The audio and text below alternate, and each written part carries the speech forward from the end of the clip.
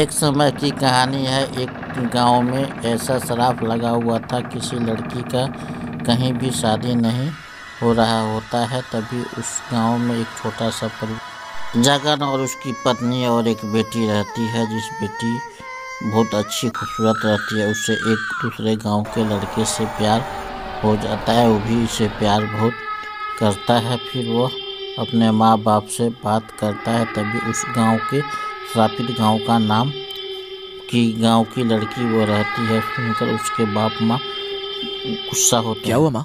आप लोग ऐसे चौक क्यों गए? अरे उस गाँव पर तो श्राप है श्राप। उस गाँव की किसी लड़की से कोई शादी नहीं कर सकता। ये आप कैसी बातों में विश्वास करने लगे हो? ये सब बेकार की बातें हैं। इतना कहा के मनोज के पिता माँ चले जाते हैं। मैं शादी तो मीना से ही करूँगा और क्या है कठपुली गाँव का श्राप वो भी जानकर रहूँगा। मनोज चुपके से झूठ बोलकर कठपुतली गाँव में पहुँच जाता है। उसे ऐसा नहीं लगता कि कोई बात है तभी मीना को पता चलता है कि मनोज आया है। मनोज अपने दोस्त बिपिन के घर रहता है तभी मीना वहाँ से झूठ बोलकर खेत की ओर जाने से वहाँ दोनों मिलते हैं फिर बात करते हैं। मनोज तुम यहाँ कैसे? आना पड़ा मीना। मैंने अपने घर तुमसे शादी की बात की तो उनको कोई एतराज़ नहीं हुआ। पर जैसे ही उन्होंने तुम्हारे गाँव का नाम सुना तो बस उनके तो होश ही उड़ गए। मुझे इसी बात का डर था। मतलब तुमको श्राप वाली बात पता थी? वो तो पूरे गाँव को पता है। यहाँ की लड़की से कोई शादी नहीं करता। पर ऐसा क्यों? क्योंकि श्राप लगा हुआ है इस गाँव पर। या फिर बोलो हम गाँव की सभी लड़कियों पर। अरे पर कैसा श्राप? बताते हैं कि सालों पहले यहाँ एक लड़की रहती थी। वो बड़ी सुंदर थी। लंबी गोरी लंबे लंबे काले बाल और बड़ी बड़ी आँखें। बहुत ही सुंदर थी वो। उसको गाँव के बाहर किसी लड़के से प्यार हो गया था। पर वो लड़का था बौना। उस लड़की के घर वालों को जब ये बात पता चली तो उन्होंने उस लड़की को बहुत डांटा और उस लड़के से मिलने से साफ़ मना कर दिया। वो लड़की भी नहीं मानी। एक रात वो बौना लड़का उस लड़की को आधी रात में चुपके से लेने आया पर उस लड़की के भाई ने उसे पकड़ लिया। फिर? फिर क्या हुआ? उसको बहुत मारा? उससे भी बुरा किया उनके साथ। उस लड़की के भाई ने उस लड़के के हाथ पैर रस्सी से बांधकर आँगन में लटका दिया। उसके बाद कोड़े ने उसको इतना मारा कि उसकी खाल के चीथड़े चीथड़े हो गए। मीना ने ये सब हर पल अपनी आँखों से देखा पर वो कुछ न कर सकी। हर पल उस लड़के की चीख चारों तरफ़ गूंजती थी। किसी को भी उन दोनों पर तरस नहीं आया। और एक दिन उस लड़की की शादी उस बौने लड़के के सामने दूसरे से तय करवा दी गई। हे भगवान ये तो बहुत बुरा हुआ। बुरा तो उसके बाद हुआ जब वो लड़की फेरे लेते वक्त नीचे गिर पड़ी और उसके मुँह से झाग निकलने लगा। उसने जहर जो खा लिया था वो तड़पती हुई इस बौने लड़के के सामने मर गई और वो लड़का चीखता रह गया। उसके बाद वो लड़का पागल हो गया और बस यही बोलता रहता था कि अब उसके खानदान की क्या बल्कि पूरे गाँव की लड़कियों की शादी नहीं हो पाएगी। सब उस पागल की बात को मज़ाक में लेने लगे कि पागल ही तो है। पर जब उसी लड़की की छोटी बहन की शादी हुई तो वो भी बिल्कुल वैसे ही मंडप में फेरे लेते वक्त गिर पड़ी। उसके मुँह से झाग निकला और वो मर गई। उसके बाद उसके खानदान की और इस गाँव की जब भी किसी लड़की की शादी हुई तभी वो लड़की अपने मंडप पर ऐसी ही मौत मरी है जैसे वो लड़की मरी थी। मैं नहीं चाहता कि तुमको कुछ हो जाए। पर मनोज मैं ऐसे अकेले भी मर ही जाऊँगी। तो क्या करे मीना?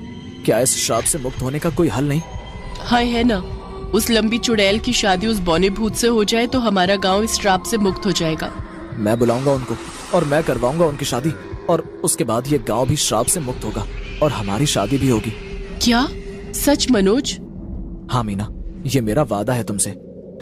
मनोज सारे गाँव वालों से बात करता है और लंबी चुड़ैल और छोटा बवना भूत की शादी करने के लिए सारे लोग अजीब चौक जाते हैं। गाँव में एक बहुत बड़ा पंडाल गिरा देता है फिर वो लंबी चुड़ैल और नाटा भूत को पता चलता है। किसकी हिम्मत हुई इस गाँव में शादी का टेंट लगाने की? लगता है किसी की मौत आई है।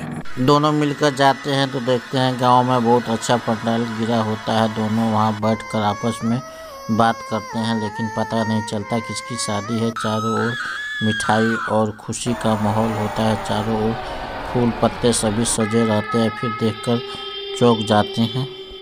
आखिर किसकी शादी की तैयारी चल रही है ये? ये सब इन गाँव वालों की कोई साजिश है ताकि वो हमसे उस लड़की को बचा सके, पर ऐसा कभी नहीं हो पाएगा।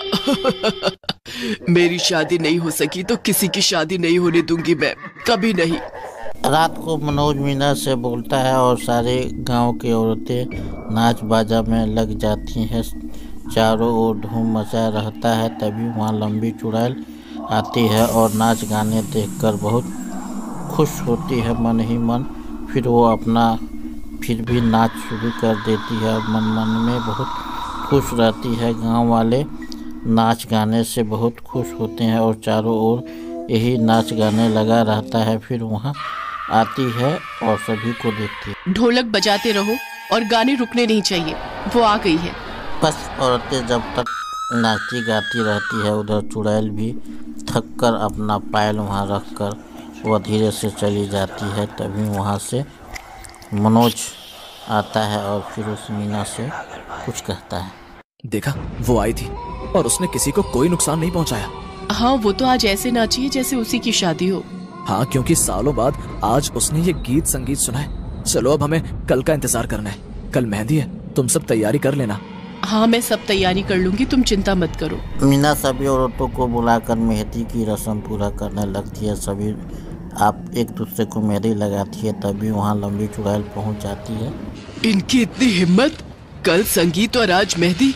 और आखिर यहाँ शादी किसकी है? कोई भी तो दुल्हन नहीं है यहाँ। चुड़ैल चारों ओर देखती पर दुल्हन नज़र नहीं आती फिर मेहंदी रखा हुआ पे नज़र चुड़ैल को जाती। कितना शौक हुआ करता था मुझे मेहंदी का। बचपन में माँ के आगे कैसे हाथ आगे कर देती थी कि पहले मैं ही मेहंदी लगाऊँगी। आज भी बड़ा मन है कि मैं भी मेहंदी लगाऊँ अपने। चुड़ैल एक मेहंदी लेकर अपने हाथों में इतना खूबसूरत मेहंदी लगाती है कि किसी का खूबसूरत मेहंदी उतना अच्छा नहीं लगता पर चुड़ैल का लगता है फिर चुड़ैल वहाँ से चली जाती है इधर उधर ढूंढती है फिर अपने बौने पति के पास चली जाती है चुड़ैल। ये तुम क्या कह रही हो? कल नाच रही थी और आज मेहंदी लगा ली। क्या तुम्हें याद नहीं कि हमें ये शादी नहीं होने देनी है? पर यहाँ तो कोई दुल्हन है ही नहीं। शादी कल है। कल हमें उस लड़की को मारना है जिसकी कल शादी होने वाली है। हाँ मुझे याद है। अब बस मुझे कल का इंतज़ार है। तुम ये मत सोचो कि मैं खुश हूँ तो मैं भूल गई हूँ सब। मैं इस गाँव की किसी भी लड़की की शादी नहीं होने दूँगी। अगला दिन होता है चारों ओर खुशी का माहौल होता है चारों ओर खाना पकड़ा होता है फिर मनोज अपने पूरे गाँव वालों से बातचीत करता है फिर नाच गाने सभी होते हैं चारों ओर खुशी का माहौल होता है तभी चुड़ैल। देखो तो जरा ऐसी शादी तो मैंने कभी नहीं देखी पूरा गाँव शादी में शामिल है। और सजावट तो देखो पर दुल्हन है कहाँ?